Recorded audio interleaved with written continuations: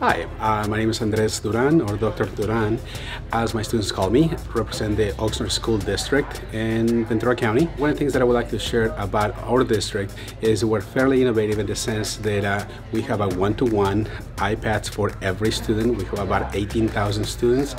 And the initiative had to do with making sure that we provide every student the opportunity for them to be able to access the world, for them to be able to be ready for the next level and utilize the technology in order for them to get to where they need to go. One of the things that we're doing is we're providing every student uh, the opportunity with individualized learning.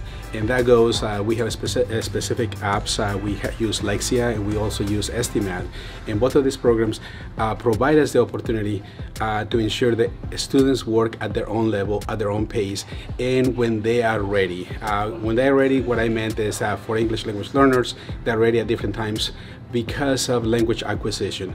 When students acquire the language, then they're able to move at a faster pace into the program. At the same time, they're exposed to new language as well.